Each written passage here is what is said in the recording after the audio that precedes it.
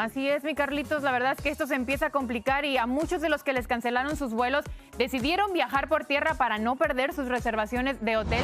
Y es que 7 millones de personas volaron este fin de semana un 25% más que el año pasado. Pero las aerolíneas tienen miles de empleados menos que en el 2019, imagínate eso. Y los precios de los pasajes además están 28% más caros que antes de la pandemia.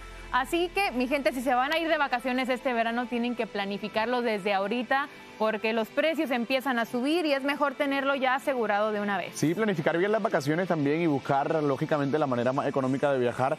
Llegar, y lo han dicho, tres horas antes al aeropuerto si es un vuelo doméstico, tres horas y media antes si es un vuelo internacional, para que, mira, no le pase nada malo en sus vacaciones. Así es, ay no, Dios quiera que no. Cuando nos vayamos nosotros, que todo salga bien, que todo, les salga bien a ustedes también en sus vacaciones.